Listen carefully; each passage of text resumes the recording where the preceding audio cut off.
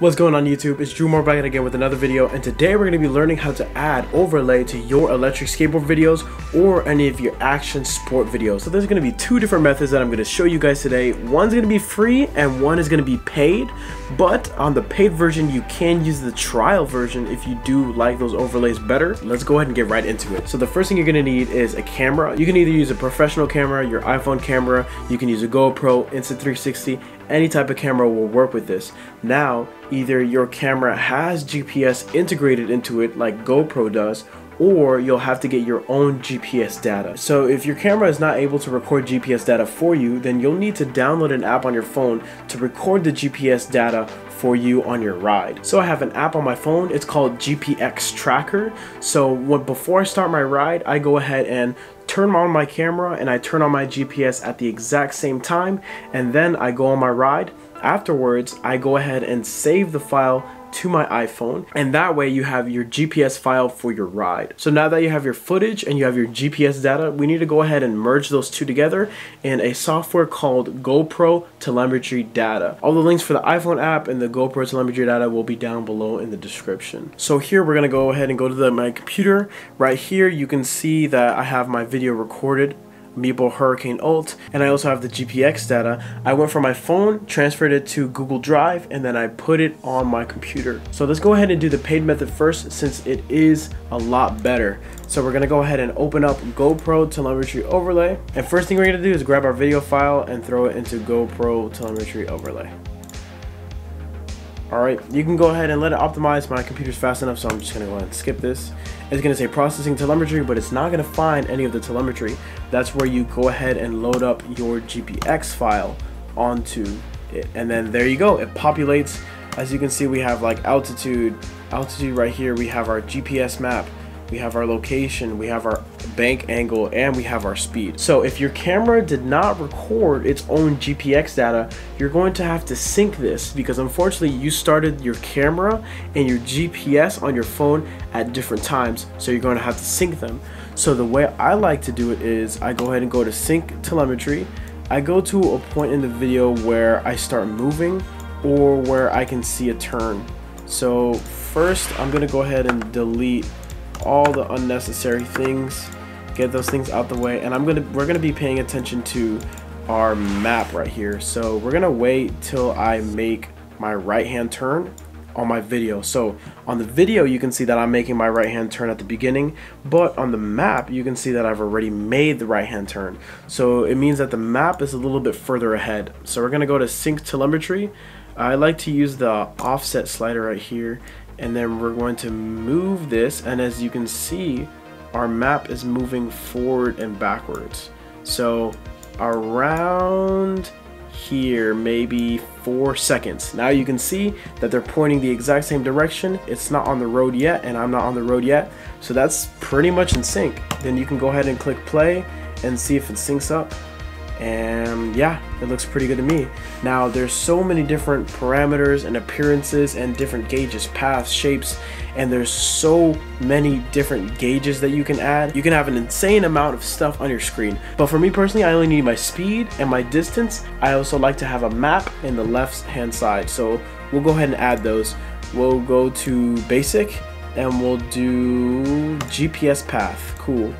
Now I have my GPS path. We'll throw it there in the corner we'll make it uh, we'll make the path like white and we'll make it a little bit smaller throw in the corner. Now I already have my speed over here. We'll make the speed a little bit bigger. And we'll make the we'll make the lower green and we'll make the upper red. So that the faster I go the more red it gets. Now we'll skip and boom you can see it turning red Alright, it looks pretty much like we're synced up. Sometimes your GPS accidentally records wrong speed information. So as you see, it says 40 miles, 49 miles per hour. I don't ever go that fast. You can go ahead and go right down here and it has a wrong speed indicator. So we'll go ahead and put that wrong speed. Uh, wrong speed would be 40. So if, if the GPS records anything above 40, it will not display it anymore. And that's how you fix that. Other than that, we're pretty much done. I'll go ahead and delete this and I'll go ahead and move my distance on the bottom and that's literally how I put my lap, my speed, and my distance. Now we're gonna go ahead and go to export. So what I like to do is you can go ahead and export it with the video and with the overlay. But if you want the highest quality looking video, then you're going to want to only export the GPS data. The way by doing that is by clicking chroma background. And that way you're only exporting your data and your video file stays nice and clean instead of being rendered through multiple things before you throw it on YouTube, if that makes sense. And that's pretty much it. That's exactly how I put GoPro telemetry data on my videos and now you guys can do the same. Alright, now that I showed you guys the paid version, let's go ahead and move on to the free version. This is going to need a couple little extra tweaks, but it's basically the same concept. Let's go ahead and head to the computer and let's get this working. So the app that we're going to be using for this side is going to be Virb Edit and it's literally going to be the exact same thing. We're going to go ahead and open up Virb Edit and as you see you can click here and create a video. I'll name it my video and then we'll import our Hurricane Ultra video right here into the timeline.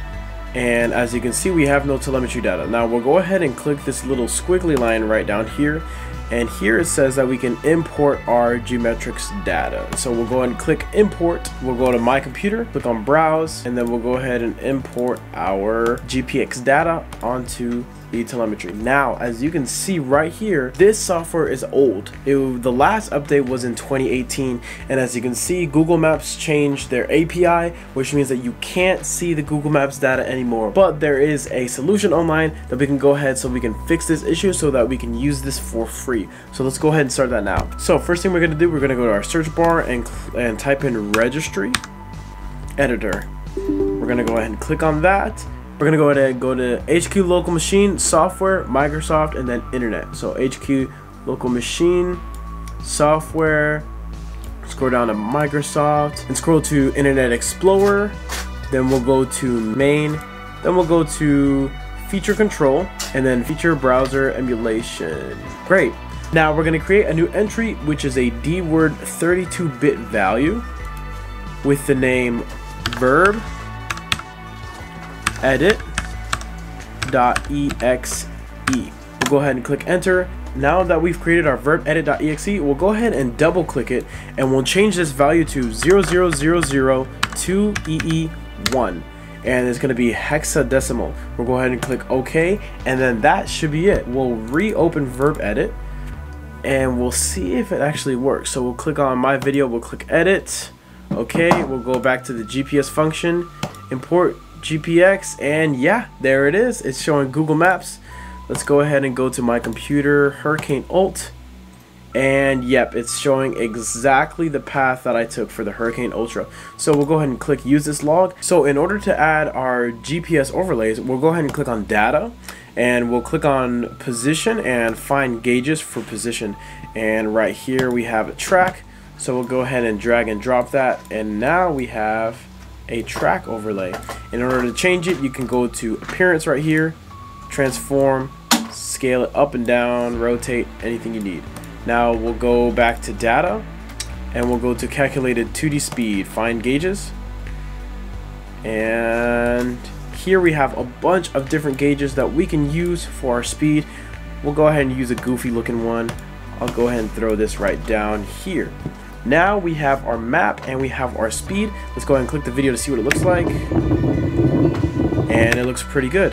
Now we have to go back and do the exact same thing that we did last time on our last video. We need to sync our video and our GPX data together. So we'll go ahead and click on data and then we'll go to G-Metrix sync. Alright, so the same thing as last time, we're gonna go ahead and move our video to a point where I'm kind of turning where I can sync it to the map right here. So as you can see, we're turning. You can physically grab your point on the map and then you can put it down to exactly where you are and that should be enough to sync up the data. Oh. So then once you sync up your video and then your position on the map by selecting it and placing it down, all you have to do is click done and then your GPS will now be synced together. You can go ahead and click and then go ahead and look through the video and see if everything looks good. And yeah, everything pretty much looks good to me. Let's see. Let's go to the high speed right here. And yeah, it looks like I'm going high speed. Before you can go ahead and mess with a bunch of the different gauges for all the different data types, distance grade course. You can also have gauge templates here. So there's futuristic, there's default, down view, grounded, classic.